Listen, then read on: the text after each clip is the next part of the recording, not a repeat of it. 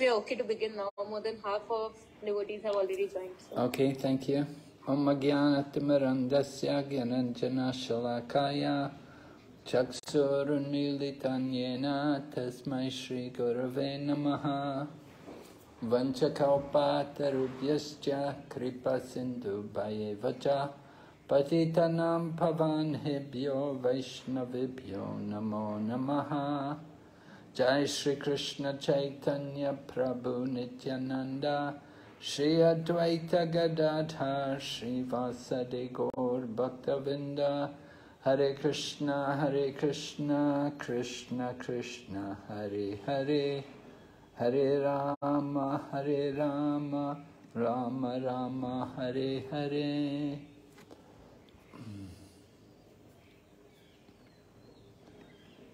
Are you able to see the slideshow? Yes, Maharaj.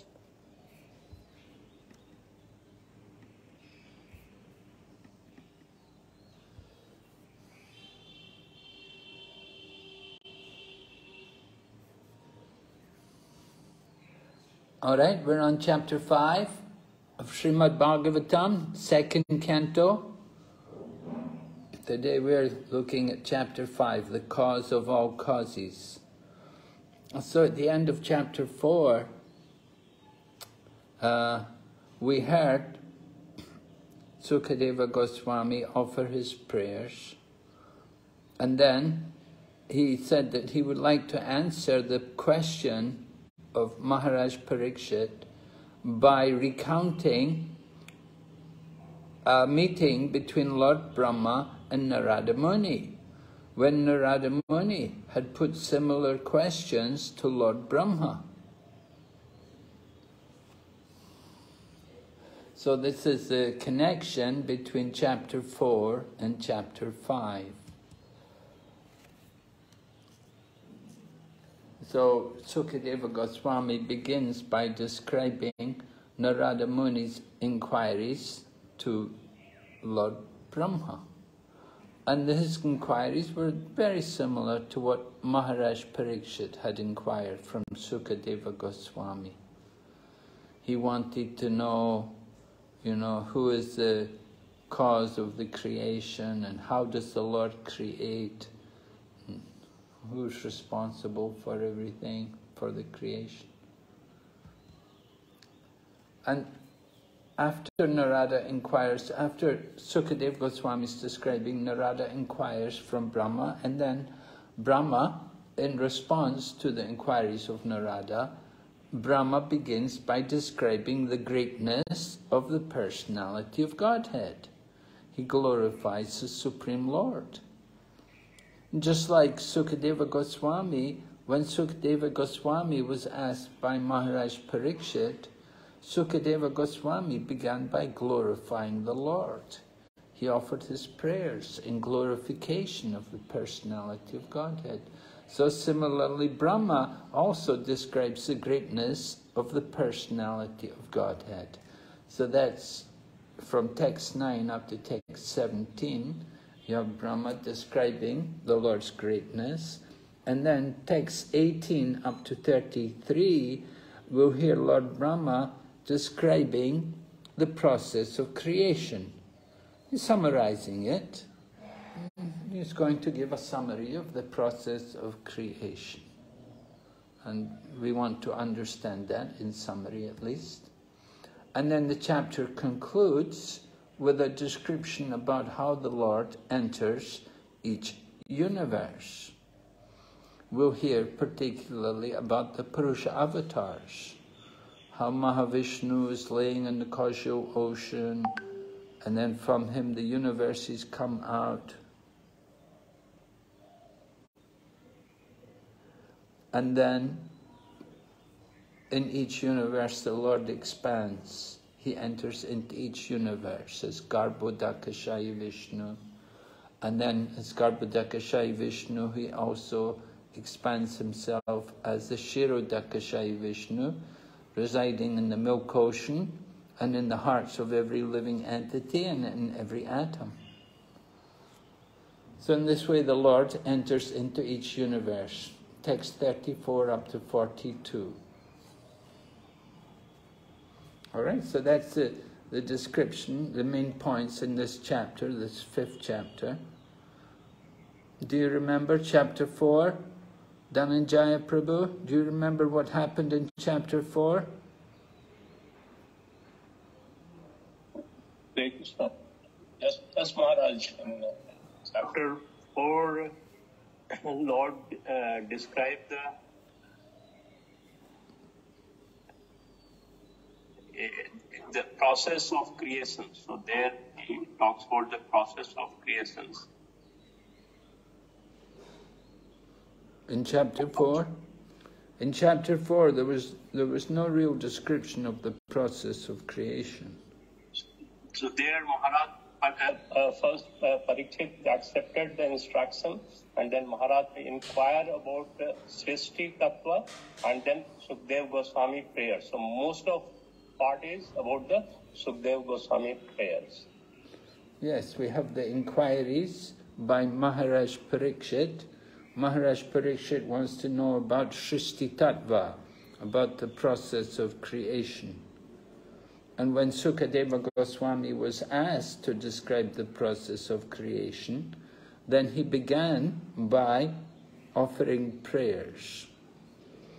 Right? Do you remember any of the prayers? Do you remember that one prayer particularly we discussed? What what was it describing? Maharaj Kirat, Purun, uh, different castes were described Kirat, Huna, Andhra, Pulinda, and uh, Pulkasha. Kirita Hunandra Pulinda Pulkasha. Yes, go ahead, Mataji. Abir, Shumba, Yavana, members of the Khasa races, and even others who, Who? were addicted to sinful acts. Who are the Kiritas? Do you remember? Who are the Kiritas? Maharaj, tribals, tribals of India, I thought they were Africans. Africans, Maharaj. you said. Africa. Yeah. And who's the Kasha? And Maharaj, you mentioned that the uh, Sambar Mango Khasa were the Chinese people. Right. Yes.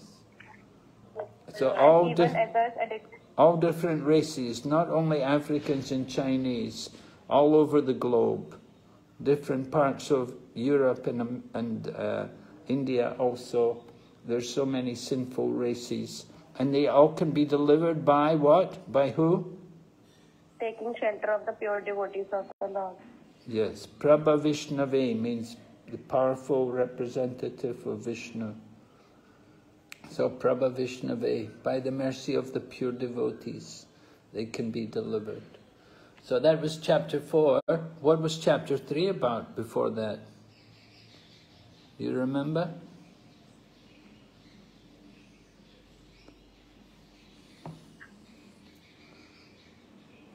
Chapter 3? Who knows? What happened About in... the demi, demigod worship? Yes, and what, what was, the con was the conclusion we should worship demigods? No. What was the conclusion?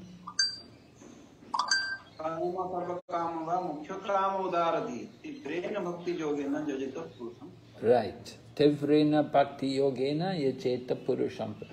Akama sarvakama va moksha kama udaradi. Udaradi. I'm meaning with broad intelligence. Those who have broader intelligence, they will worship the Supreme Lord. After he, after Sukadeva Goswami described so many different demigods and how they could give material benefit, then Sukadeva Goswami went on to say that if you have broader intelligence, then you will just worship the Supreme Lord. No need to worship demigods. Right? That was chapter 3. Chapter 2 was the Paramatma. Chapter 1, we heard about the universal form, the impersonal aspect of worship of the Supreme. Right? So chapter 3 was directing us to worship the Supreme Lord. And then after Sukadev Goswami had said this, then we heard about Shaunaka Rishi and his eagerness to hear. And he gave many analogies about hearing. Right? People who don't hear, he really condemned them. He condemned them as being very unfortunate souls for not hearing. So that was chapter 3. Then chapter 4 went on to Sukadev, uh, Maharaj Parikshit was putting questions that he wanted to understand about creation and who was the creator. He was thinking maybe Brahma was the creator and he wanted to know, is he actually the supreme? And so he was putting questions to Lord Brahma and then and he asked Sukadeva Goswami to describe about creation and Sukadeva Goswami then offered his prayers. So that in chapter 4, second half of the chapter, were the prayers offered by Sukadeva Goswami. And now in chapter 5, we're going to hear, because Sukadeva Goswami said that the same questions which Maharaj Parikshit was asking Sukadeva Goswami had been asked earlier by Narada Muni to Lord Brahma. So Sukadeva Goswami is describing what happened when Narada Muni approached Brahma. How would Sukadeva Goswami know what happened between Brahma and Narada Muni? Dhananjaya. Hare Krishna Maharaj. So, because uh, uh, there's a, this whole story has been narrated by Vyasdev to Sukdev Goswami and Vyasdev in turn heard it from Narada Muni. So from Narada Muni in disciplic succession it came to Vyas, uh, Vyas Muni and Vyas Muni in turn has uh, taught about the whole whole Srimad Bhagavatam to uh, Sukdev Goswami and that's why Sukdev Goswami is able to narrate uh, in verbatim what Narad Muni has told to Vyas Muni about his own conversation with uh, uh, uh, uh Brahma. Okay.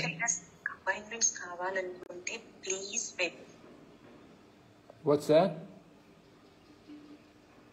Okay, um, we'll go ahead. Thank you, Dhananjay. Yes. Okay, here's the first verse. Someone can read for me. Read the Sanskrit in English. Narada Go ahead, Mataji. Go ahead. Narada Uvacha देवदेव नमस्तेस्तु भूतभावन पूर्वजा तद्विज्ञान ही यत् ज्ञानम आत्मतत्व निदर्शनम Sri Narad Muni asked from Maji, O chief amongst the demigods, O firstborn living entity, I beg to offer my respectful obeisances unto you. Please tell me that transcendental knowledge specifically directs one to the truth of the individual soul and the super soul. Hmm. Okay. Very nice question coming from Narada Muni to Brahma. He wants to know the truth about the individual soul and the super soul. So what better person to ask about these things, particularly about the creation, what better person to ask than Lord Brahma? Because Lord Brahma is described here. He's the firstborn, the firstborn living entity. We always look up to the elder in the family, the eldest is always given significance and importance. So here's Lord Brahma, the firstborn living entity, and Narada Muni is offering his respects and inquiring from him. All right? No. Read to verse 8. But anyway, we have it summarized here. We, we, let's read the slides before we go. Let's see, here is uh, Narada inquires from Brahma. This is based on text 1 to 8. So you get the synopsis of what is being presented here in these questions. Someone please read.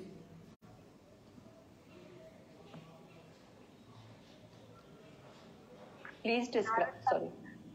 No, no, please, Mataji. Narada inquires from Brahma. Narada's sub-question 1. Please describe factually the symptoms of this manifest world. What is its background? How is it created? How is it conserved? And under whose control is all this being done? Parikshit's question 1. I beg to know from you how the personality of Godhead, by his personal energies, creates these phenomenal universes as they are, which are inconceivable even to the great demigods. Srimad Bhagavatam, Canto 2, Chapter 4, verse 6. All right, so we want you to see the comparison, see the relationship between the questions. That Narada Muni's question, he wants to know the symptoms of the world, the manifest world, and how is it created? How is it conserved? And under whose control is all this being done? And Parikshit Maharaj, he, he's asking, he says, how does the personality of Godhead, by his personal energy, create these phenomenal universes, which are inconceivable even to the great demigods? So, you know, some, not exactly the same, but some similarities there. Parikshit also wants to know, how did the creation come about? Okay, let's see, we'll go to the next slide. Right, someone else read Narada's, go ahead. Narada sub question 2 My dear father, what is the source of your knowledge? Under whose protection are you standing? And under whom are you working? What is your real position? Do you alone create all entities with material elements by your personal energy? Parikshit's question second Kindly describe how the Supreme Lord, who is all powerful, engages his different energies in different expansions in maintaining and again winding up the phenomenal uh, world in the sporting spirit of a player. All right. So Narada's question, what is the source of your knowledge? Whose protection are you standing under? And whom are, who, who, whom are you working? Who are you working for? In other words, Narada wants to know what is the actual position of Brahma. And he asks him directly, did you create alone? Did you alone create the element by your personal energy? Because now Narada is, at this point, he's already a liberated soul. Now why would he be asking these questions if he's already a liberated soul? Anyone like to say? Duty Gopi. Can you answer? Why is, why is Narada asking these questions if he's already a liberated soul? Maharaj, as you mentioned in the previous previous chapter, that uh, why the questions were asked because again there will be in Kaliyuga there will be a lot of cheaters who will pose that you know they created or they are the supreme personality. So you know, it first point is that it gives a distinction and knowledge to Kaliyuga beings uh, about who's the actual creator. And it also, Narad Muni, naturally a devotee wants to glorify Supreme Lord. So he was aware that Krishna is the creator, so he wanted um, to glorify him, you know, by asking such questions. Okay, maybe. It, it could also be that Narada is being put into under the influence of Krishna's Yoga Maya, just like Arjuna became bewildered on the battlefield at Kurukshetra. Arjuna became bewildered, although Arjuna was, you know, he's really a, a great, a liberated soul, a Nityasiddha, but, but still he was put into illusion on the battlefield. And so similarly, we see Narada in, somewhat bewildered, and he's asking these questions for the benefit of everyone. and the example was given, he, uh, he's engaging his different energies and different expansions in maintaining and again winding, winding up the phenomenal world in the sporting spirit of a player. What is the example which is given there about he creates and then winds up again the phenomenal world? There's a, a wonderful example in nature of a living entity which creates its own little uh, world and then... Spider. Huh? Spider. Spider, cobweb. Yes, the spider, right. The spider and its cobweb. The cobweb is produced from the body of the spider. And then at a certain point, the spider will again wind up the cobweb, bring it back into its own body. Just like the Lord, Mahavishnu is laying in the causal ocean, the universes come out, and then again he breathes in, and the universes are all brought again back inside his body. So here Prabhupada or Srimad Bhagavatam describes the sporting spirit of a player. A player. You wind up, you play a game, then you wind up, you finish the game, you know, game's over. So the same way material world is compared like that to a game. A match. and match is over, wind everything up. Alright, and then Narada some sub question three. Someone read. Yet we are moved to wonder about the existence of someone more powerful than you when we think of your great austerities in perfect discipline, although your good self is so powerful in the matter of creation. Parikshit's question P. The Supreme Personality of Godhead is one, whether he alone acts with the modes of material nature or simultaneously expands in many forms or expands consecutively to direct the modes of nature. Hare Krishna. Yes, Srimad Bhagavatam 249. So here Narada's question is about questioning about who is actually the person who's more, is there somebody more powerful than Lord Brahma? And what's the cause of Lord, what's the cause of Narada's question? Why is Narada doubting that Lord Brahma is not the supreme? Someone can tell me?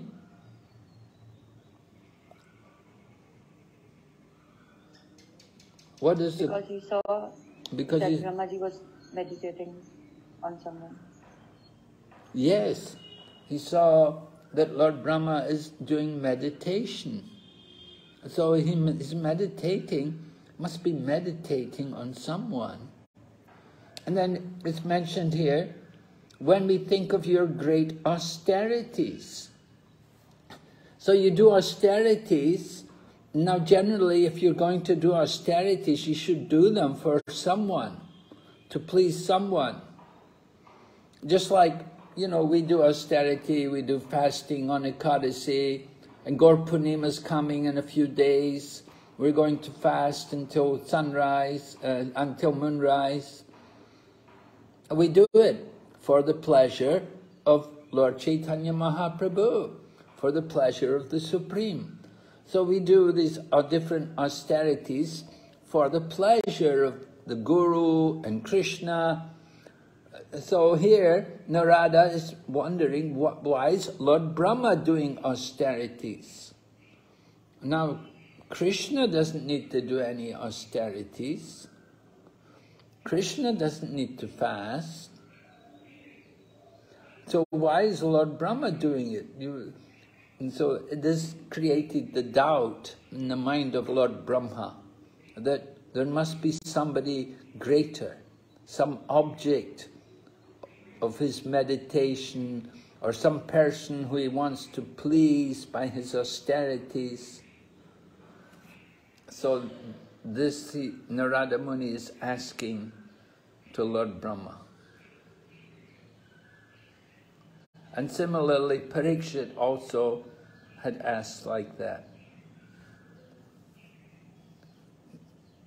He, he asked, does the Lord act alone? Or does he expand himself? Is it his different portions, plenary portions or potencies, what, which are the cause of creation? So this, uh, this way we compare the different questions. So in text 10, uh, Srila Prabhupada gives this example which is quite commonly used, commonly known, young children, even at school, they may hear this kind of uh, parable about the frog in the well, right? The frog in the well. So, who, is, who, who are we comparing the frogs in the well to? The scientists, Maharaj? Yes, could be scientists. Only scientists? Anybody else? Scientists speculators. speculators. Right, mental speculators, gyanis, and mental speculators. All of these people who, who use the ascending process to get knowledge. They use the ascending process. They try to understand everything by their own efforts. They don't like to accept authority. But in Vaishnava philosophy, we learn to accept authority. We hear from someone. We hear and we accept without question. We shouldn't be, shouldn't be challenging. It's not good to challenge an authority. If someone quotes from the scriptures and presents evidence, we should not challenge it. We shouldn't doubt it. But mental speculators and gyanis and scientists, these kind of people, they're, they're, they're very expert in challenging and uh, they don't like to hear. They don't have any faith in scriptural authority. All right, so Prabhupada writes here, a frog residing in the atmosphere and boundary of a well cannot imagine the length and breadth of the gigantic ocean. Such a frog, when informed of the gigantic length and breadth of the ocean, first of all, does not believe that there is such an ocean. Just like speculators and atheists and so on, they won't believe that there's such a thing as the spiritual world. They don't believe even that there's a God, or there's a, a supreme intelligent being behind the creation. And they say, we never saw him, Nobody, why should we believe it? So similarly, the frog does not believe that there is such an ocean. And if someone assures him that factually there is such a thing, the frog then begins to measure it by imagination, by means of pumping its belly as far as possible, with the result that the tiny abdomen of the frog bursts and the poor frog dies without any experience of the actual ocean. So in the same way, materialistic people, atheists, mental speculators, they try to understand, even if they try to understand the spiritual science which we present to them, their senses with their limited senses, they can never understand. Uh, we often say, Atashri Krishna Namadi Nabhavad Indriyani, that we cannot understand Krishna by the material senses. How can we understand God? How can we understand the absolute truth? It's only possible by His mercy that He can reveal to us. He can reveal himself to us, to the devotee, when he is pleased with him. In the Bhagavad Gita, Lord Krishna says, I am never manifest to the foolish and the unintelligent, for them I am covered by my eternal creative potency. But Lord Krishna says, to those who are totally devoted to me with love, to those who worship, to those who are constantly devoted to me and worship me with love, to them I give the understanding by which they may come to me. Tesham satita yuktanam bhajatam pritipurvikam dadami buddhiyogam tam yenamam upayantite. So Krishna can reveal himself to the devotee when he's pleased with the sincere efforts of the devotee. Not to the gyanis and mental speculators who want to measure everything with their limited senses. So we talk about empirical knowledge. The Krishna conscious philosophy is not for empirical scientists. They want to measure everything. Just like the frog wants to understand the ocean. How can the frog understand the ocean? And similarly, how can these limited materialistic people like yogis and scientists and scholars and gyanis, how can they ever understand the unlimited potency of the Supreme Lord? As I, as I explained yesterday, we have to understand that there is such a thing as achintya shakti, inconceivable potencies. And it's only then that we can begin to understand something of the inconceivable potency of the Supreme Lord.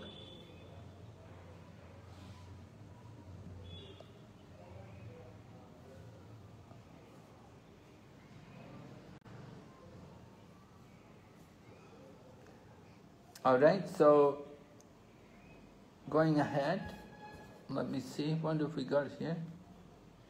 Brahma describes the greatness of the Lord text 19, text 9 up to 17. Lord Brahma had been questioned by Narada Muni.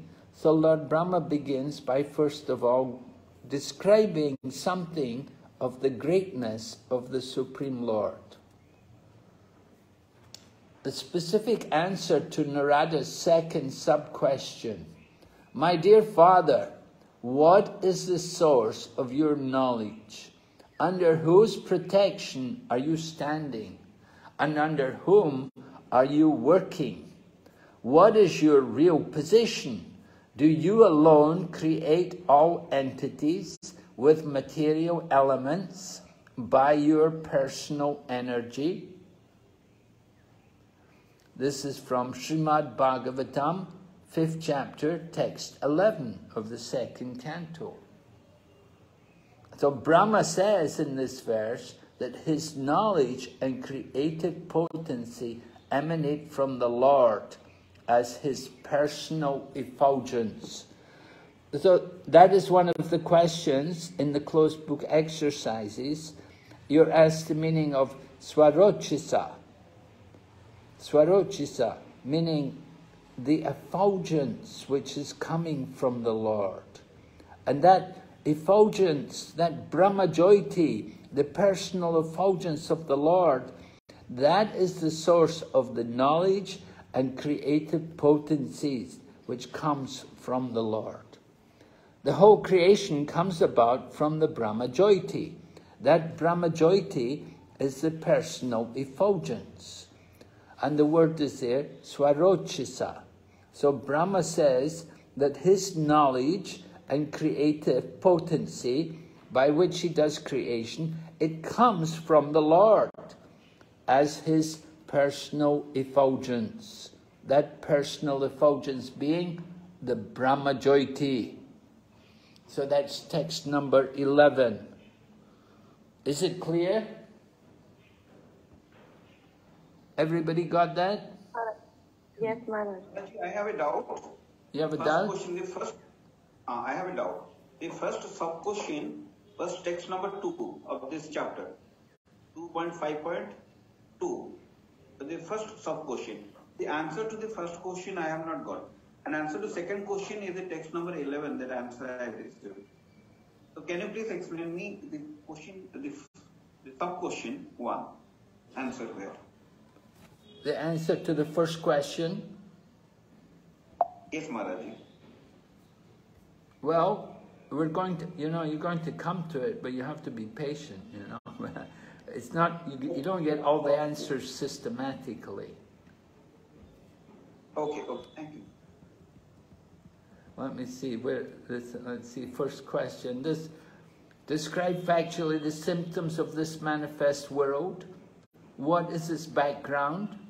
How is it created? How is it conserved? Uh, this question? Yes, Maharaj, this question. So the symptoms of this manifest world, the three modes of material nature. What is its background? Well, the material nature. It's the material nature. Background is the modes of material nature. How is it created? We'll hear. That's going to be told. It's coming. The creation. And how is it conserved? How is it maintained? Under whose control is all this being done? yeah, under whose control? It's all under the control of the Supreme Lord.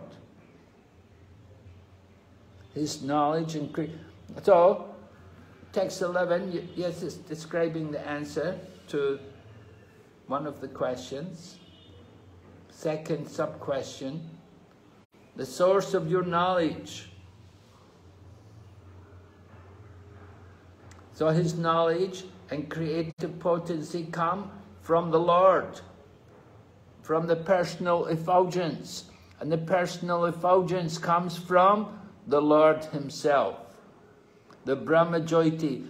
In Bhagavad Gita, Krishna says, Brahmano hi pratishtaham. Krishna said, I am the basis of the Brahman. So that Brahman, that Brahma Jyoti, this is coming from the body of Lord Krishna. And from that Brahma Jyoti, Brahma is getting his knowledge and creative potency. There, there are three different potencies, right? There's the Kriya Shakti, the Jnana Shakti, and the, uh, what is the other one? The matter, Dravya Shakti. And the three different potencies of the material world for the creation. First of all, the matter, Dravya Shakti, and then for activities, Kriya Shakti, and then for intelligent activities, Jnana Shakti. And so it's different potencies, all come from Krishna. And they come from Krishna's Brahmajyoti. The, the Brahman, this whole material world is the manifestation of Brahman. Of course, Shankaracharya, he just preached that. He was fond of saying, Sarvam Kalvidam Brahma, everything is Brahman. Yes, everything is Brahman. But there's a supreme Brahman, and Shankaracharya didn't emphasize that. But in Bhagavad Gita it says very clearly that there's a supreme Brahman. Param Brahma, Param Dham, Pavitram Paramam Bhavan. You are the supreme Brahman. So that point seems to get forgotten in Shankaracharya's preaching of the impersonal philosophy. Okay, we'll go ahead. Here, you, here we're coming to the first question. The specific answer to Narada's principal question. Please tell me that transcendental knowledge which specifically directs one to the truth of the individual soul and the super soul. In this verse, Brahma reveals that his transcendental realization is inspired by the super soul. The truth is that Brahma is created and the Lord is the creator. So Brahma's transcendental realization is inspired by the super soul. The super soul is the expansion of the Supreme Lord right? The super soul expands into the heart of all living entities. The super soul is Kshirodakashayi Vishnu. Also, is residing on the milk ocean. in every universe there's a milk ocean, and in that milk ocean, the Kshirodakashayi Vishnu resides, but he also expands himself into the hearts of all living entities and into the atom.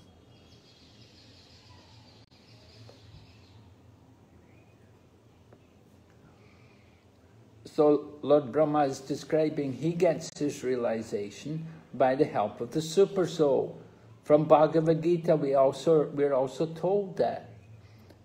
Krishna says in the 15th chapter of Bhagavad Gita, Sarvasya Chaham Visto. Then what? What does he say?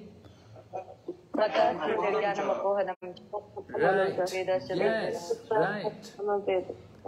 So Krishna Brahma, it's, it's not only true for us, and it's not only true for Arjuna, it's true in the case of Brahma also, that his inspiration, his realization is due to the super soul.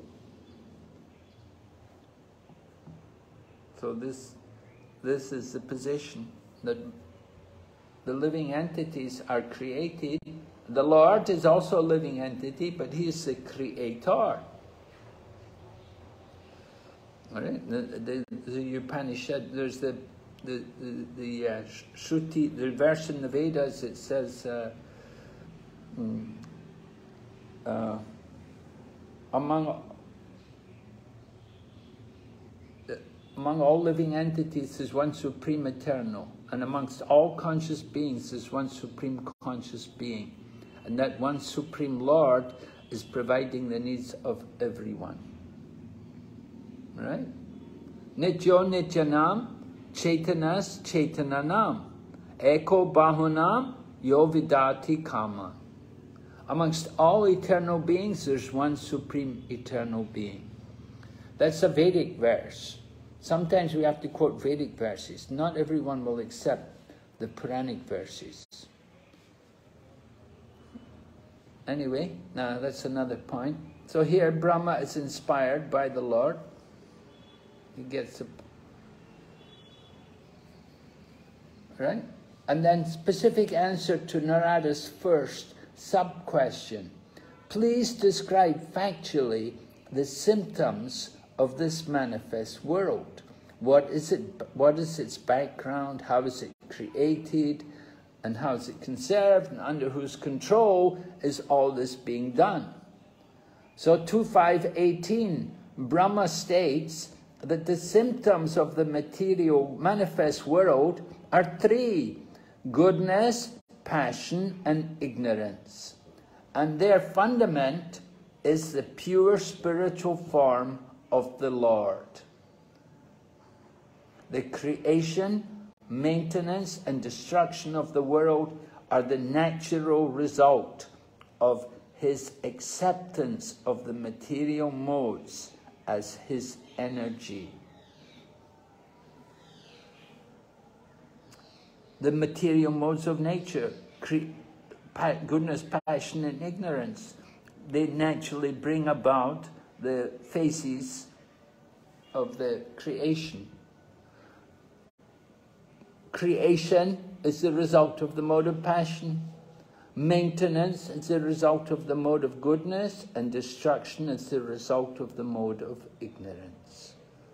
And so they're natural results of the modes of nature, the three phases of the creation creation, maintenance, and destruction. All right, are you seeing how these questions are being answered? Yes, Maharaj. Maharaj, but the, uh, my doubt is, the first question here, the previous slide to this, what you have shown now, the previous slide. Previous uh, slide? Uh, just previous slide, yes. This question, the specific answer to Narada's principal question, and the answer is that in this verse, Brahma reveals that his transcendental realization is inspired by the Super Soul. The truth is that Brahma is created and the Lord is a creator. Uh, statement, uh, where we mentioned this one, Bhagavatam. Huh? This statement in this verse, Brahma reveals that a transcendental realization is inspired by the super soul. And this statement, the, it is referred in which number sloka? Uh, text number what? Oh. Oh, I have to look. I don't. You have to give me time to. I'll check it up when we have a break.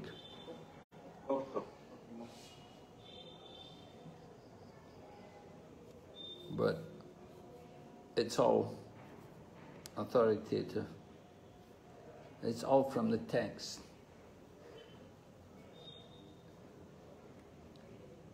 Okay. Let's see, where are we? The creation, all right. So the, material world is described. Then Narada's third sub-question. Yet we are moved to wonder about the existence of someone more powerful than you when we think of your great austerities and perfect discipline, although your good self is so powerful in the matter of creation. So this is uh, one of the important points that Brahma want, uh, Narada wants to understand. You know, who is who is above you?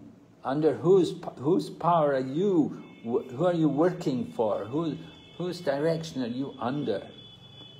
Who is the personality who you meditate on? Who are you performing your austerities for? So the answer is given there, Srimad Bhagavatam, text 20 of the fifth chapter, second canto. Brahma says that the modes of nature cover the spiritual perception of the living entities.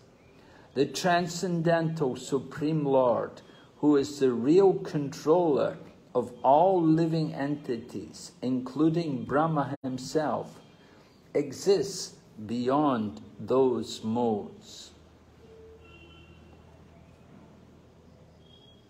So the modes of nature cover the spiritual perception.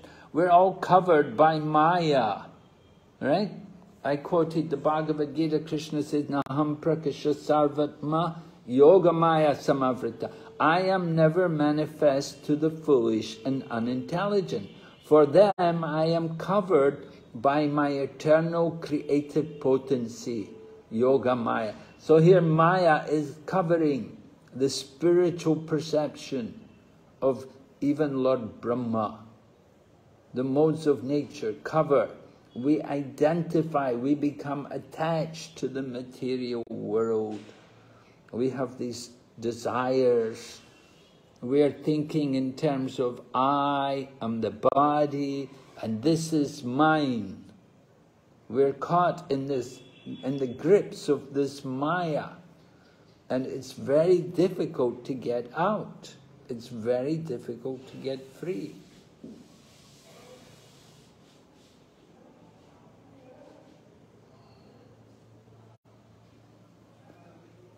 But if we surrender to Krishna, of course, we can go beyond those modes of nature. All right? So here's some more. What is this? Brahma describes the greatness of the Lord.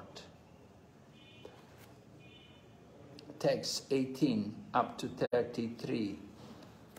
Lord Brahma is describing the Supreme Personality of Godhead. Lord Brahma is his servant. He is the, the servant. He is created. He's not the cre. Well, Brahma is doing the secondary creation, but the primary creation is done by the Supreme Personality of Godhead. What Brahma does is simply the secondary part of creation.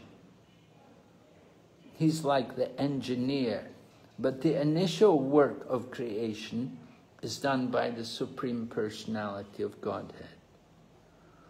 So here's something of Lord Brahma's glorification of the Supreme Lord. The Supreme Lord is pure spiritual form, transcendental to all material qualities. Yet, for the sake of the creation of the material world and its maintenance and annihilation, he accepts through his external energy the material modes of nature called goodness, passion, and ignorance. So the distinction is made between the internal energy and the external energy. The internal energy being the eternal spiritual energy of the Lord, and the external energy referring to the material world and the bodies of the living entities in the material world. We are also the energy of Krishna, right? We are also the Prakriti. We're not Purusha, we're Prakriti. We may be superior Prakriti, but we're still Prakriti. But the Lord Himself, He is the actual Purusha.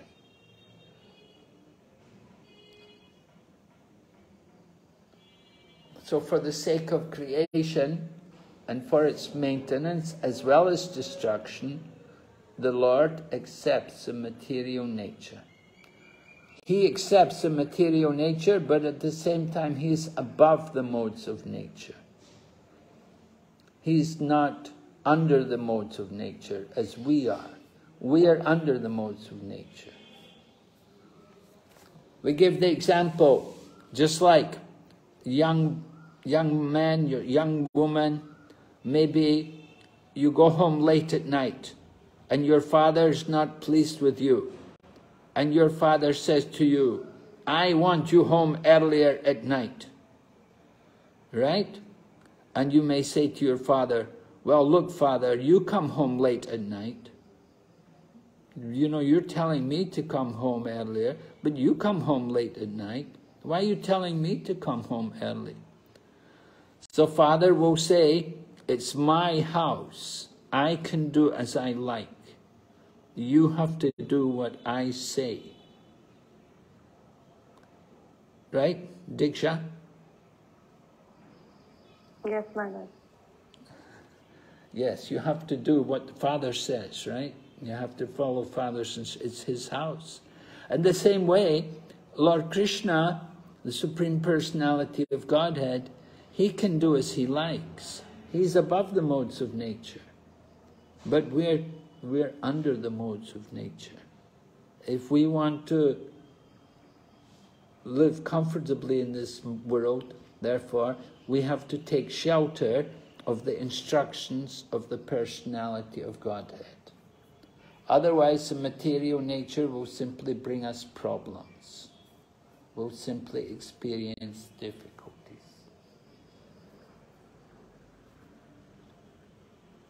Let's just do one more. Oh, that's text 18.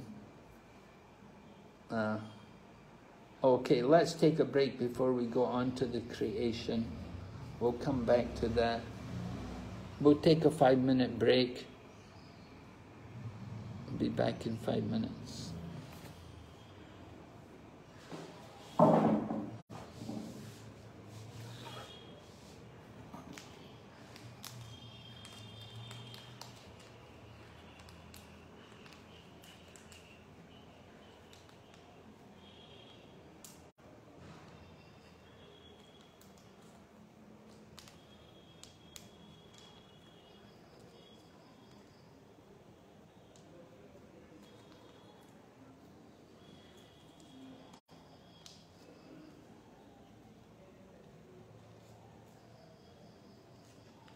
Dhananjay Prabhuji, Hare Krishna, Dhanotana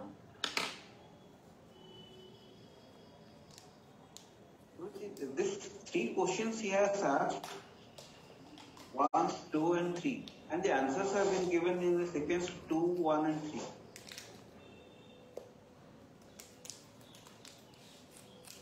कोई कारण होगा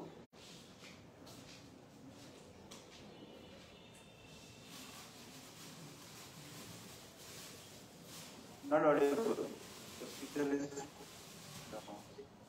Hare Krishna, Prabhu. Yeah, yeah. I'm sorry I didn't unmute myself. Yeah.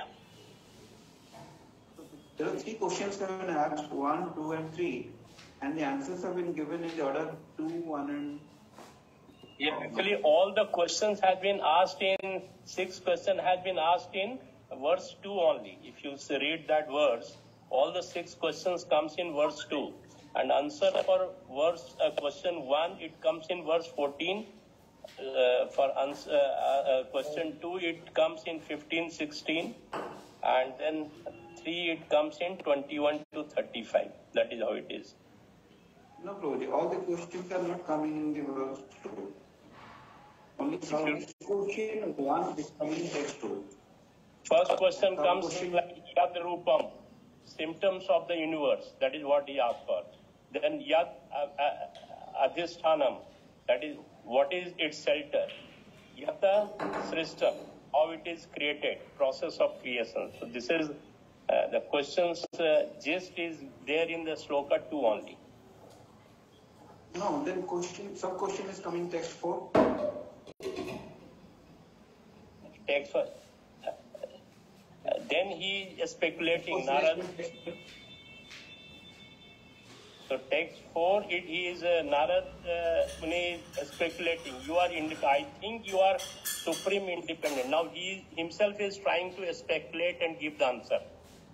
So initial Narad Muni he asked something and then uh, uh, from third onward he is speculating the answer also.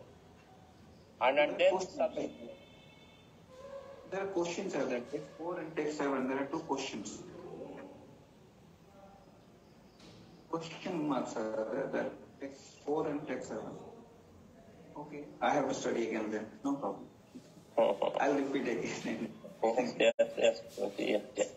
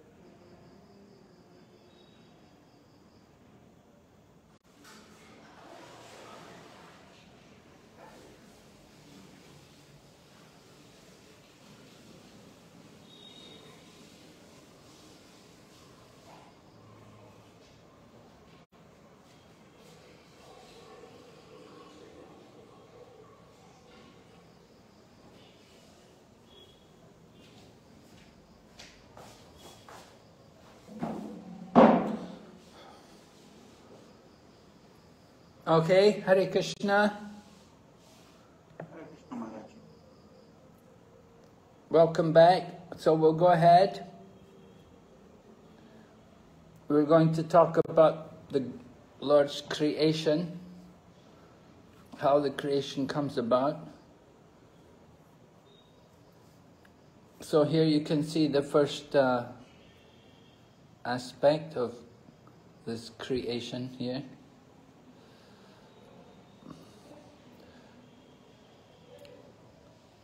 The false ego, which is the cause of our presence in the material world. False ego is there, and that false ego is our identification with the material energy where we're thinking we're the proprietor, we're thinking we're the enjoyer. So that false ego is influenced by the modes of nature, goodness, passion and ignorance. So false ego in the mode of ignorance is the result of the five elements of the material nature. You can see there, earth, water, fire, air and ether. So you can see how from the mode of ignorance, in contact with false ego, and the, under the influence of time, the material elements come about. The five Mahabhutis, the great elements of the material nature. Bhumir, Apo, Nalo, Vayu, right? Earth, water, fire, air, and ether. So that's the result of the mode of ignorance. And then, okay, here you can see the relationship between the different elements. The five elements each have their own specific, unique characteristic, right? What we would call tanmatra, right? Tanmatra, the, the sense objects, the sense object, the, the sense object, the, what is there in ether, the quality of ether is sound. In the Bhagavad Gita, Krishna says, I am the sound in ether. So within ether, ether means where there's no air. Within ether, there's nothing but sound can be vibrated within ether. Within ether, within space, you can vibrate sound. We have to understand that creation comes about from subtle to gross. It's not that everything just comes about simultaneously, but there's a very systematic process by which the creation is developed. And it begins from the subtle elements. From the subtlest forms, we come to the grossest elements. So the subtlest form is ether. And within ether, there is sound. Then, with, with ether and sound, there comes about the result with ether and sound, then you will get also the ear for the hearing to perceive sound. Then the next element coming from ether, the next finest element is air. And with air, there's an additional quality as well as sound, there's the quality of touch. We can feel the air. When you put the fan on, you have an electric fan in your room, you can feel the air blowing. You can feel the wind blowing. You can feel the touch of the air. So that quality is there in air in addition to sound. And then from air, we come to fire. And with fire, there is form as well as touch and sound. So fire has a form. You can have a big fire or a little fire, but the fire will have some kind of form. So three qualities are there in fire. And then from fire, you get water. And with water, there is taste. Right? Krishna says, I am the taste in water. So that quality of taste is there in water. And then the next out from water comes about earth. And with earth, then there is also odor, the original fragrance of the earth, the odor. So you can see how very systematic all the elements of the material nature are, how everything is created in a very uh, systematic uh, manner. Uh, you can see that the, whole thing, it, it's not just haphazard or random or just people say something by chance you can see rather it's a very systematic process by which the whole creation is coming about. And the different elements are all identified with each other. And not only are these elements identified, but the different senses relate to each of the elements. Just like sound is detected by the ear, and air is detected by the skin. The skin can perceive the touch of the air. And fire will be detected with the eye. You'll be able to see the form of fire.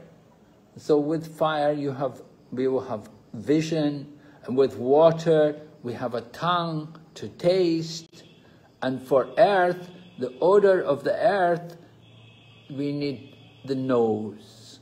So you can see the five different knowledge acquiring senses, how they relate to the five great elements.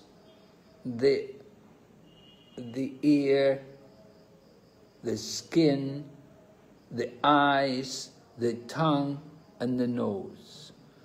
The what we call the Gyan Indriyas, the knowledge acquiring senses.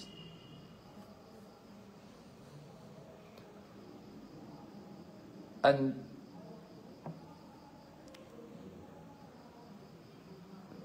Srila Prabhupada was reading, or someone, or someone was reading to Srila Prabhupada, they were reading a book called The Aquarian Gospel.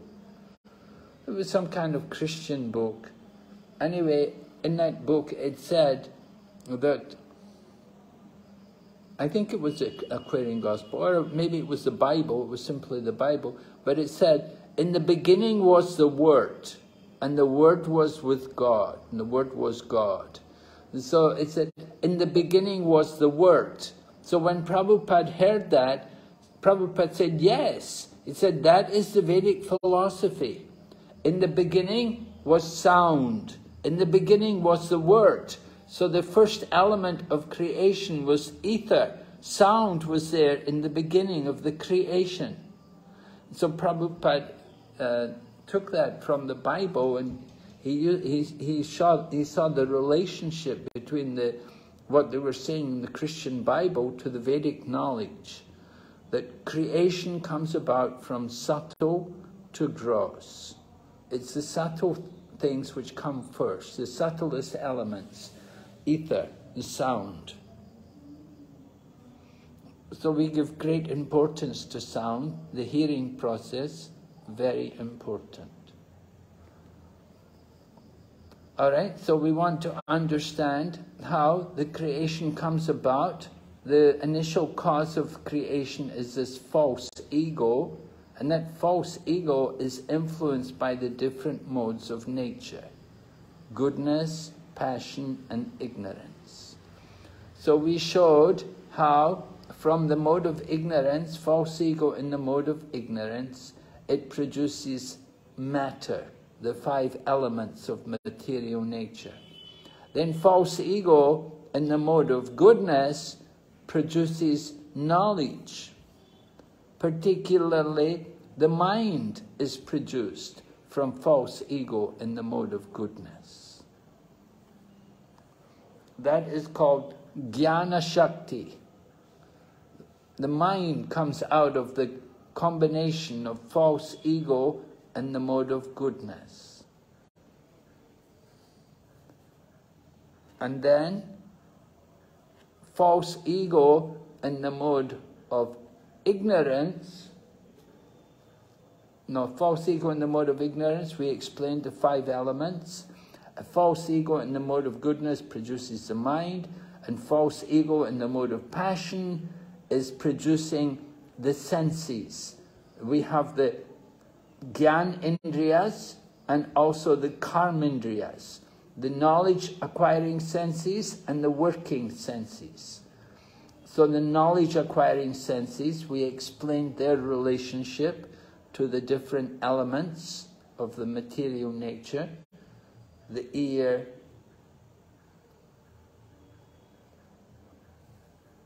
the eye, the tongue, the skin, and the nose.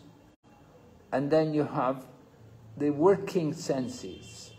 You have hands and legs, you have also a voice, and you have a, a generating organ and a, a evacuating organ. The evacuating organ, the generating organ, a voice, and hands and legs. These are what we call the karma indriyas or the working senses. So both these groups of senses, so both the gyanendriyas and the karma indriyas, they're due to the false ego in contact with the mode of passion. And all of this is coming from the Mahatattva. The Mahatattva is the manifest stage of the material nature. The unmanifest stage is called pradhan. When it's unmanifested, it's called pradhan, but when it's manifest, then it becomes a mahatattva. Mahatattva means it, the mixture of everything is there. But here we're explaining what is there within the Mahatattva. But Mahatattva is it's like khichdi. You know, in khichdi, within khichdi there's rice, and there's dal, and there's sabji, and there's oil, and spices. You know, it's all there within the khichdi. So the Mahatattva is like that. Everything is mixed up. But we're identifying what is there within this Mahatattva. So the creation is described. You can see there in the corner, we have the picture of Mahavishnu there, how Mahavishnu is residing there on the causal ocean. That causal ocean, that is also uh, called the, the, the, the water of the Mahatattva the water of the Mahatattvas, the causal ocean, or the Karanadakshayi ocean.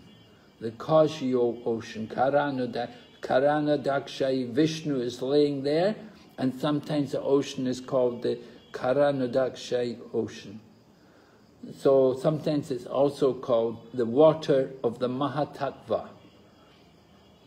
The point is that Mahavishnu is laying there in one corner of the creation, of the vast spiritual sky, in one corner of the vast spiritual sky, sometimes a cloud will develop, a cloud will manifest in one corner of the spiritual sky. And within that cloud, Mahavishnu will lay down on the causal ocean. On his, on his celestial serpent, Ananta Shesha, he will lay there and then from his body he will just simply by his glance he will produce some mahatattva. Actually said the causal ocean is spiritual, it's not material. Lord Vishnu is laying there on the causal ocean, it's not material, it's spiritual. And from his glance comes out the Mahatattva, oh, uh, well, the living entities, the glance of Vishnu, the living entities are impregnated into this Mahatattva. The living entities, along with their karma and also time, they're all impregnated into the Mahatattva, or into each universe. Here, this is the initial phase of creation, creating the different elements. But then from the body of Karanadakshaya Vishnu, the universes will come out. And each of the universes will reside, they'll, they'll float in the causal ocean. So from the causal ocean, then the Lord will expand himself into each universe. And that is the next section of the chapter, the last section of the chapter, how the Lord enters into each universe, which is described in text 34. Thus all the universes remain thousands of eons within the water, the causal ocean, and the Lord of living beings entered in each of them, caused them to feel animated.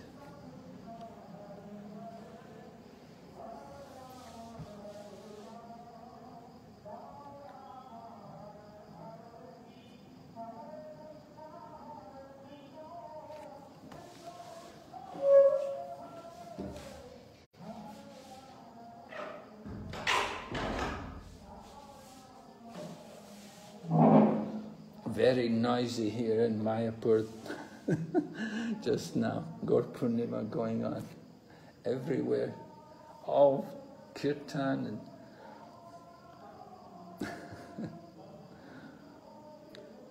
in India they only know loudspeakers. They don't have sound system. They have just loudspeakers. Very loud.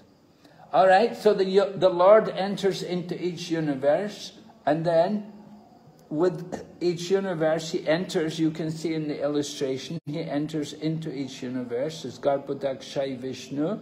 He lays on the Garbhodak ocean, and the lotus flower comes from his navel, and Lord Brahma is born.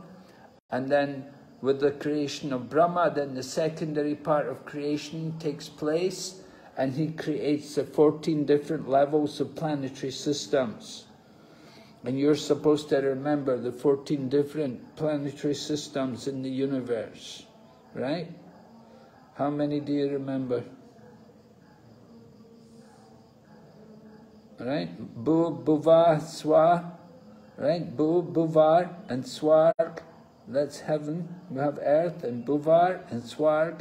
And then above that, then you have Mahaloka, and Janaloka, Tapaloka, and Satyaloka. And at the bottom, what have you got? Atal, Vital, Sutal, Talatal, Mahatal, Rasatal, and Talatal. Good, yes, right. And Patal, sorry. Uh, Patal. Talatal, Sutal, Asatal, yes, all these, the subterranean hellish planets. So 14 different levels of planetary systems. And uh, from Mahavishnu, or from Garbhodakashai Vishnu, comes Kshirodakashai Vishnu, and with the creation of Kshirodakashai Vishnu, then uh, the, the Virata Rup comes about, the creation of the, the creation of the universal form. And so there's some discussion there about the universal form. That you'll come across that again in the third canto, third canto, chapter six. Is also you'll also get the universal form mentioned there too. So the universal form we discussed it earlier in chapter one, that it's a temporary manifestation. It's a material manifestation. Actually, it's not really spiritual. It's a temporary manifestation. And it comes about with the, with the manifestation. It's the expansion, the Virata Rup is the expansion of Paramatma. And Paramatma means Kshirodakashai Vishnu. Kshirodakashai Vishnu on the milk ocean is expanded in the hearts of all living entities as Paramatma. And from Paramatma, the expansion is the Virata Rup, the universal form. So with the universal form, then everything is identified, everything in the universe has its place within the universal form.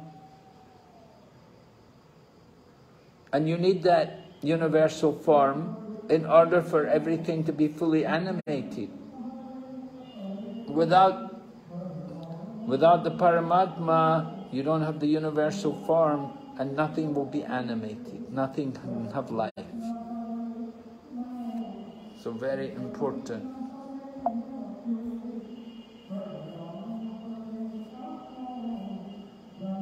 Then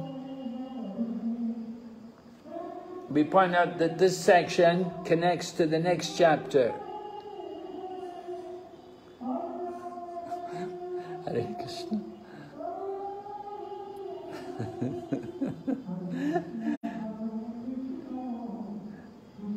Krishna. They must be going by. Where, Anyway, the Purusha Shukta, the next chapter, chapter 6, Purusha Shukta confirmed. This section connects to the next chapter. We're hearing about the Virata Rup, how everything is connected to the Supreme Lord. The Purusha, the one Purusha, the Supreme Lord, behind this whole cosmic manifestation. And that's confirmed in the prayers from the Vedas, the Purusha Shuktas from the Vedas. So the Brahma's conclusion confirms the Purusha Shukta. What Lord Brahma is telling Narada Muni is confirmed in the Vedas.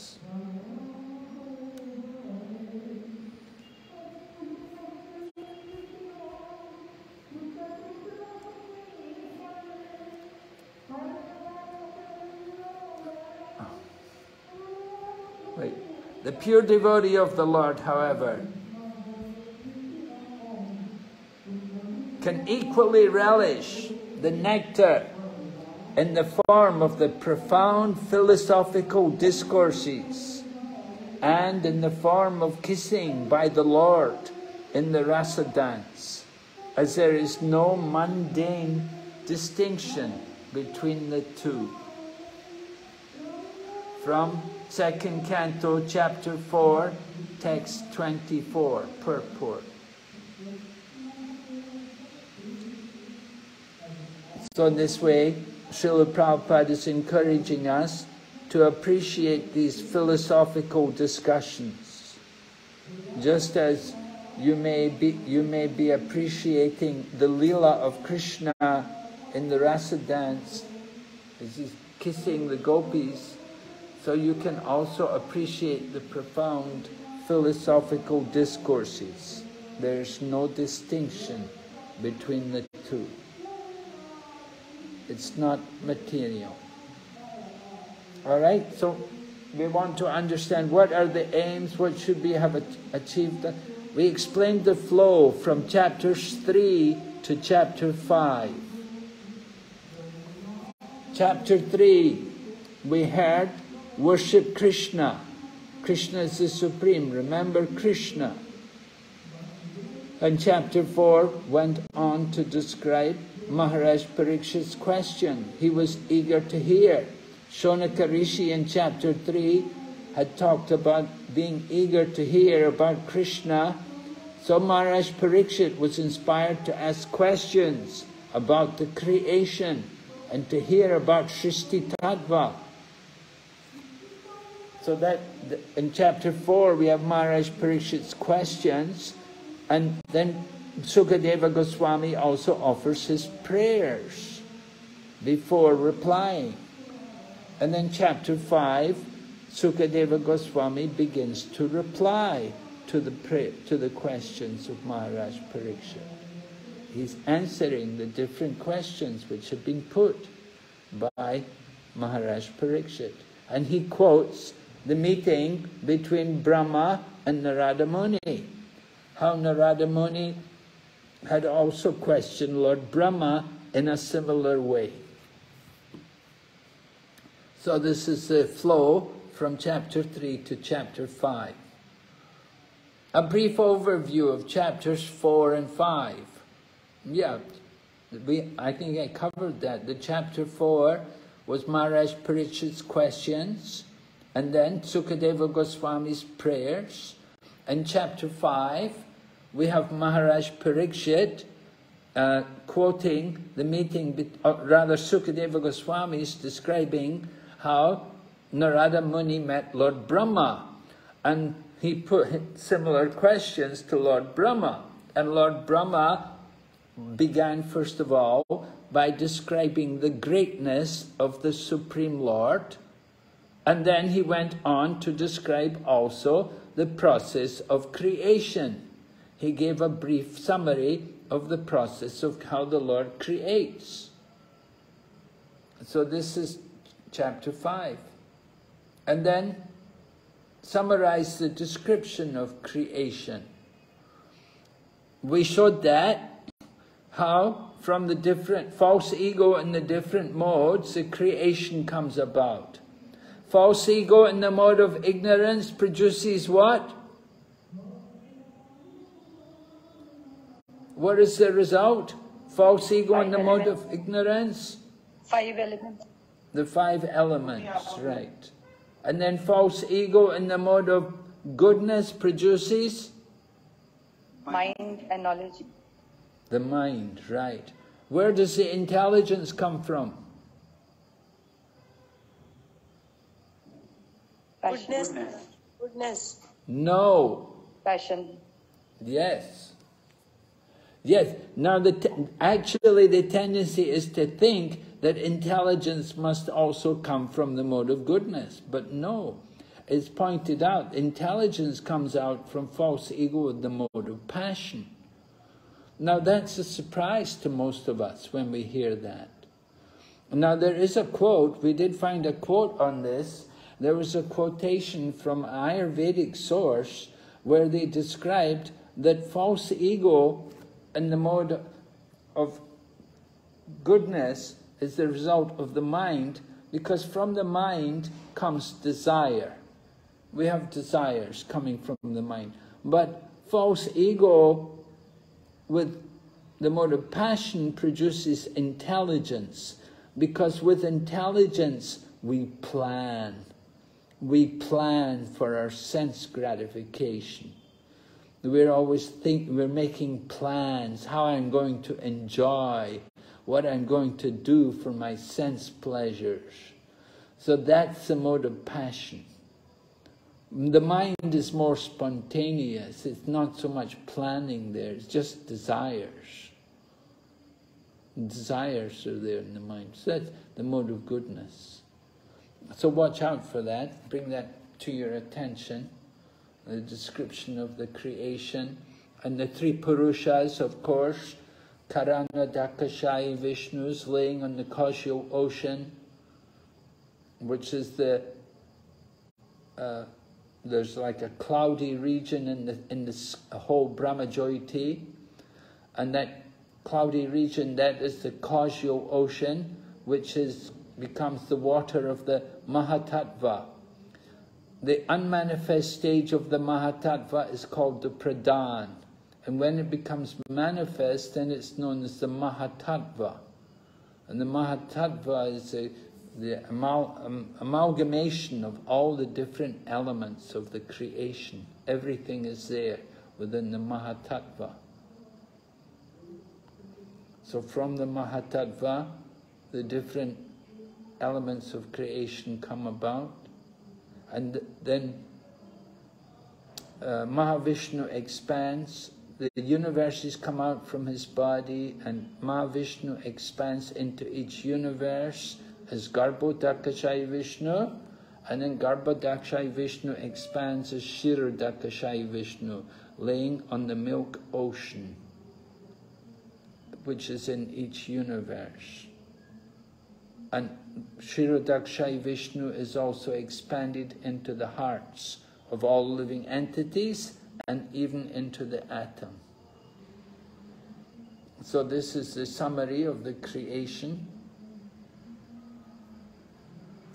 And then there's a point of personal application, and this is related to the previous chapter, that Vaishnavas must be keenly interested in his pastimes as the Purusha avatar. We should learn Srishti Tattva. It's, it's important. So we will see the creation discussed several times in this uh, third canto particularly.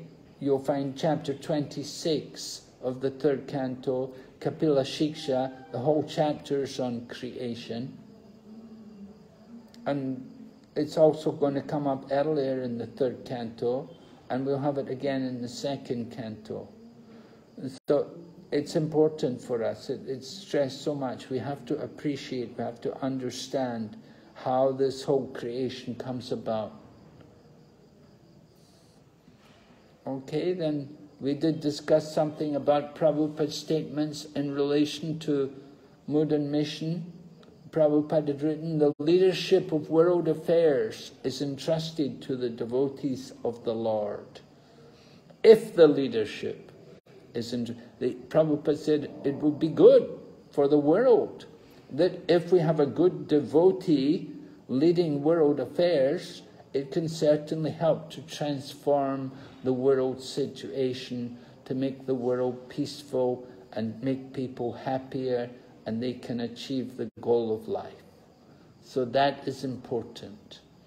The so-called leaders of the world, they're all simply thinking about economic development and sense gratification. And they never have a thought of liberation. So we need leaders who can properly direct the affairs of the world to a higher goal.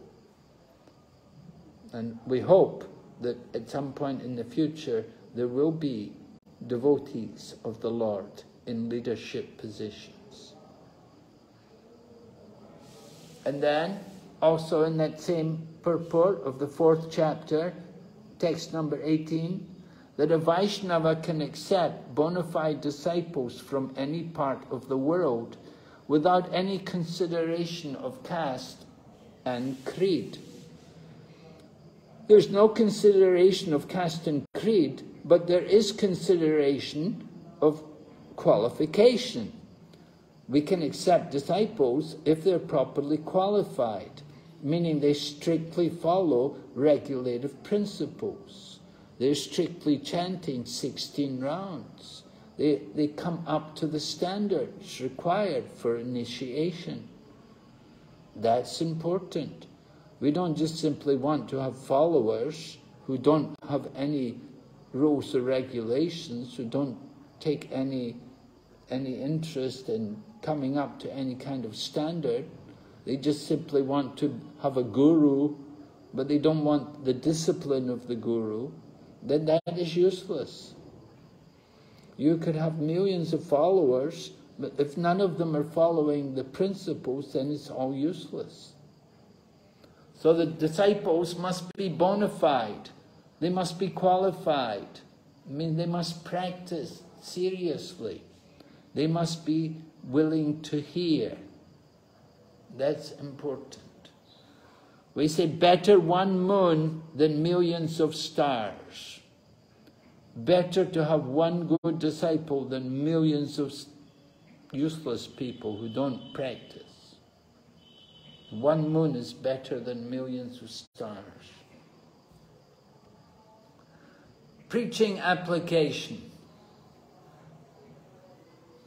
We explained the statement Lord Jesus Christ and Prophet Muhammad, two powerful devotees of the Lord, have done tremendous service on behalf of the Lord.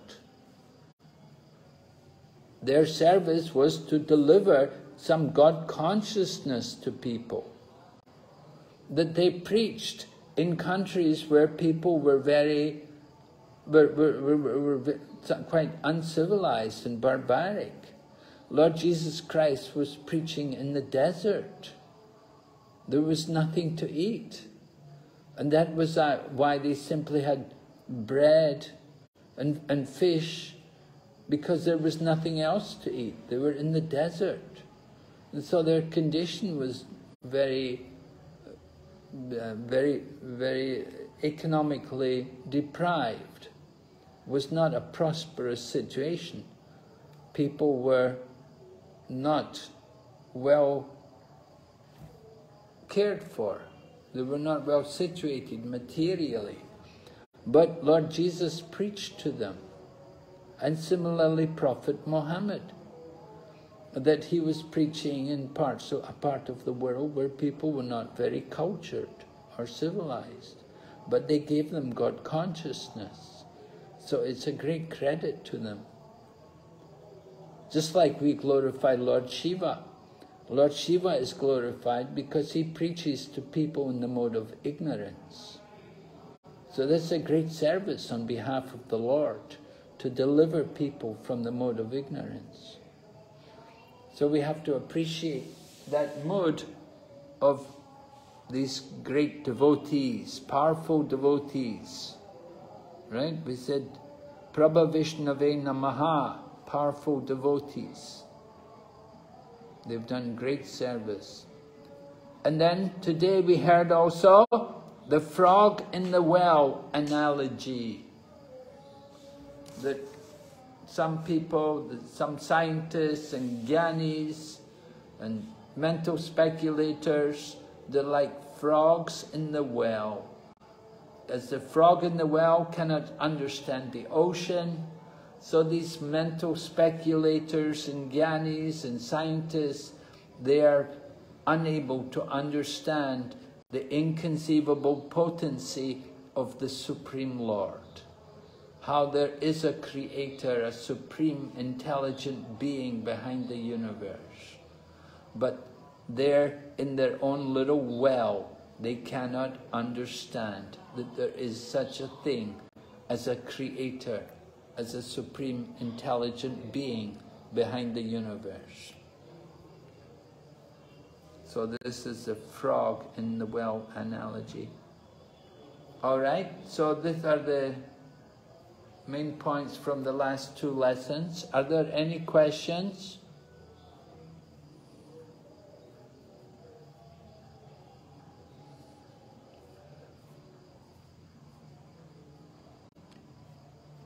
Anyone has any question?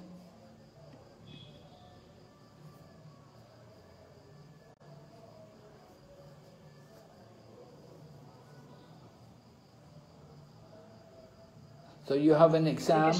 You have your exam. They have the. You have your, your closed book exam next week. Oh, here's a hand up. Yes, Maraji. Diksha, is it? Yes, Maharaj. Hare Krishna Maharaj, thank you so much for the class. Maharaj, I wanted to ask, like, when you were explaining the material elements and then uh, false ego in the mode of ignorance, goodness, and passion. So, Maharaj, what what was the starting of it? Like, how did we entered into this, like, into Mahat Tattva? How did we enter into it? Cause was false ego, our forgetfulness of Krishna. We became influenced by false ego.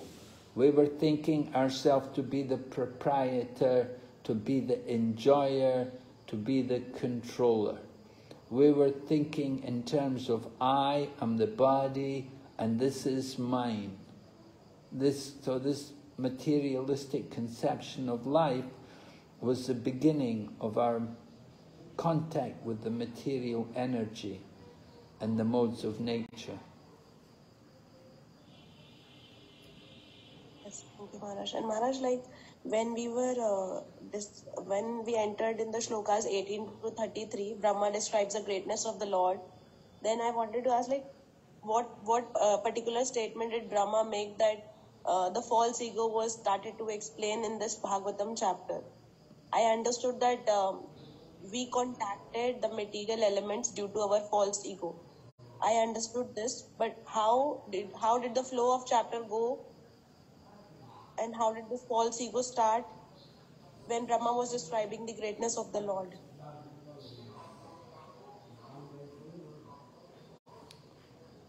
Well, we'll, we'll come to that gradually in the course of this second canto. Brahma has not finished. He's going to continue in the next chapter. We'll hear more from him. He made the distinction between the Lord and the living entity. Now that was there. I think text 11 and text 12, you'll see the distinction. The text 11 describes the Supreme Lord and text 12 describes the living entity. Remember that we're the living entities. We're not the Lord. So we're marginal potency. So as marginal potency, we have that tendency to fall under the material energy. We're always the servant. We're always controlled.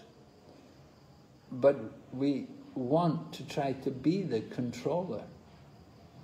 So when does that come about? Well, that comes about just simply by forgetfulness of Krishna. As soon as we forget Krishna, then it, it's like it's like that question which always comes up: How did we come into the material world? You know, we always we always have that sixty-four million dollar question about how did the living entity fall into the material world. So Srila Prabhupada quoted Bhaktisiddhanta Saraswati's reply in this matter about the crow and the tal fruit, that the fruit falls from the tree. So the people argue, how did the fruit fall? And one person said, well, the fruit fell because it was ripe. And someone else said, no, the fruit fell because the crow landed on the tree and it caused the fruit to fall off the tree. But somebody else comes along, they simply pick up the fruit and they eat the fruit. So the point is, why should you spend so much time speculating about how you got here? You want to understand the easiest thing, the easiest thing to understand is how to get out. The most difficult thing to understand is how we got here, how we became entangled here in this world. But understand that we are Prakriti by nature. Bhagavad Gita says, right, uh, Apariyamitastvanyam prakritim vidime param jiva bhuta mahabaho yeyidam daryate jagat. That we're thinking this world is for our own enjoyment. And because we are thinking this world is for us to enjoy, then uh, later on in the Bhagavad Gita, Krishna will say, um, Mami Vamsa Jiva Loke, Jiva Bhuta Sanatana, Manashastani Indriyani, Prakriti Stani Karshati. That's why we get so many troubles. We're struggling with the Prakriti. Prakriti Stani Karshati. We're struggling with the material nature because we're trying to dominate, we're trying to exploit the material nature. That is our conditioned nature because we're conditioned souls. You want to understand how did we become conditioned? That is the big question. How do we fall into this material world?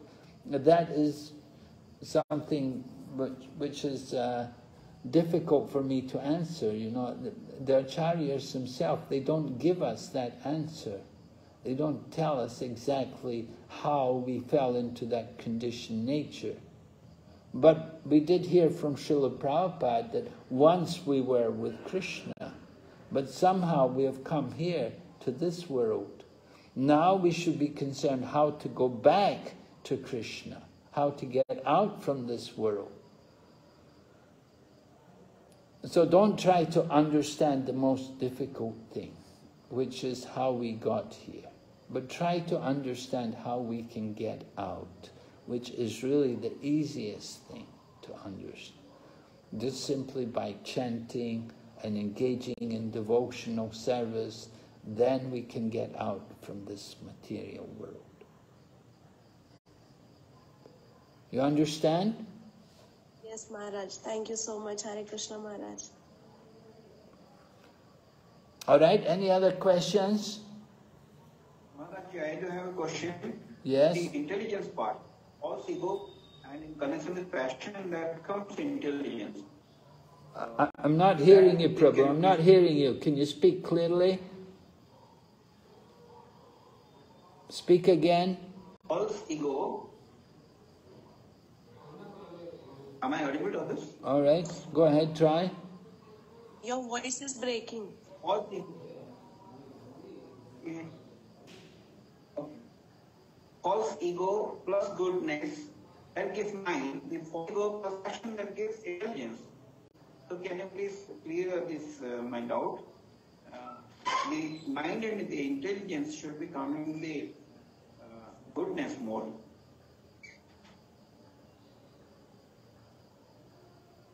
Well, I did try to explain to you about the mind coming from the mode of goodness and the intelligence from the mode of passion.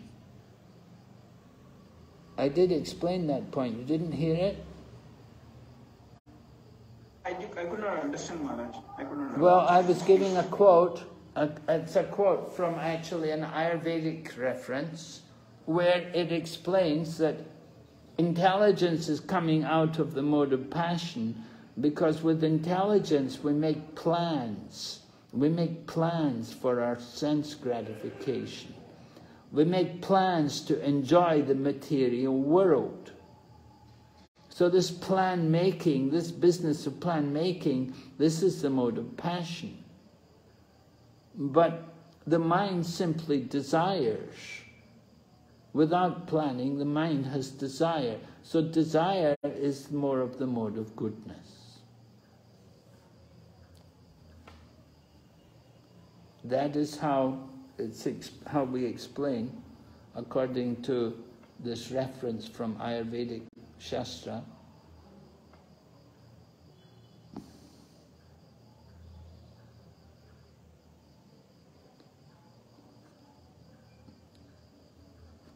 So the mind, the mind is not active in plan making, it's simply desire, it's just a desire in the mind.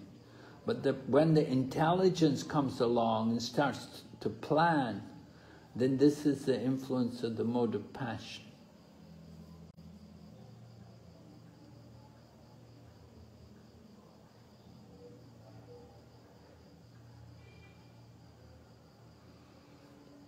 So we have to hear these things. If you hear, you know, we have to accept the authority. These, these points are made in the scriptures. We can't start arguing with it, and, and we have to understand how to support what is said in the scriptures. So I'm trying to give you evidence to support this statement of the Shastra.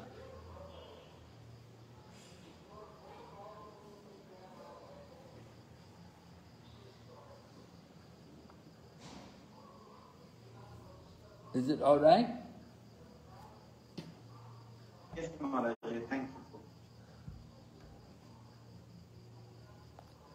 you. Okay. So then you're going to have, you have the closed book test on Friday, and then on Saturday we'll have class. We'll go on to the next unit, chapter number six, the Purusha Sukta confirmed. These purports in the second canto are quite difficult reading. His Holiness Jayadvaita Swami was the editor and Prabhupada told him, Srila Prabhupada told him, he said, don't try to edit my purports. He said, just leave them as they are. He said, don't try to do too much editing on these purports. He said, just leave them.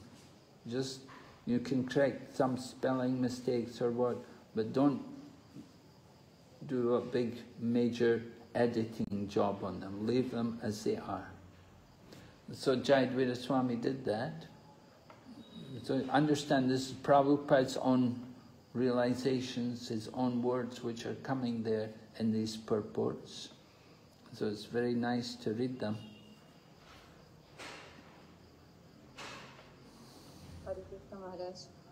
Yes? I have a question. Can I ask Maharaj? Yeah, please. Uh, Maharaj, do all the Purush avatars uh, lie on Anantashesha?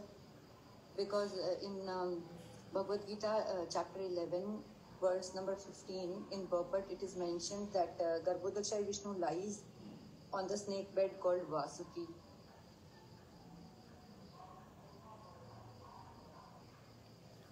In text, in the 11th chapter of Bhagavad Gita, it mentions that is it the 11th chapter? Yes, 11th chapter, verse number 15, purport. What does it mention? It, it reads like this, uh, that uh, the Garbhodakashai Vishnu lies in the lower regions of the universe. The snake bed is called Vasuki. There are also other snakes known as Vasuki. Yeah, that much is mentioned about the snake bed.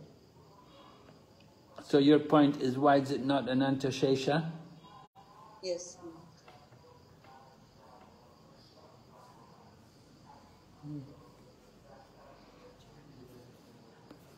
I don't know myself.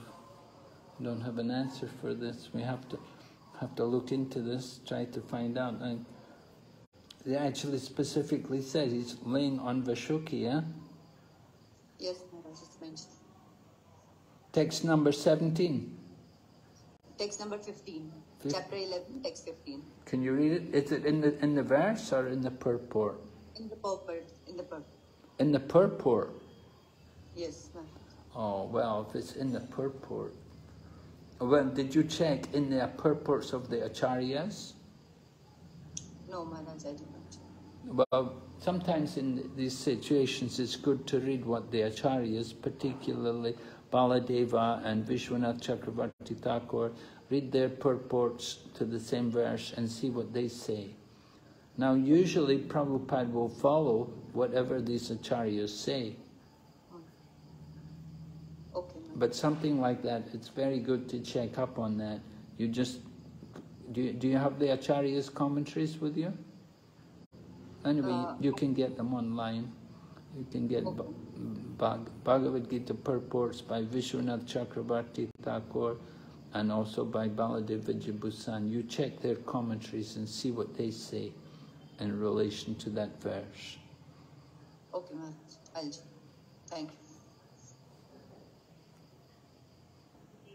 Mm-hmm.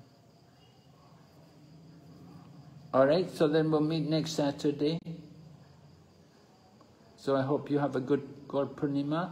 Wish you all happy Gaur Purnima. Take care. I hope to see you next Saturday. Srila Prabhupada ki jai.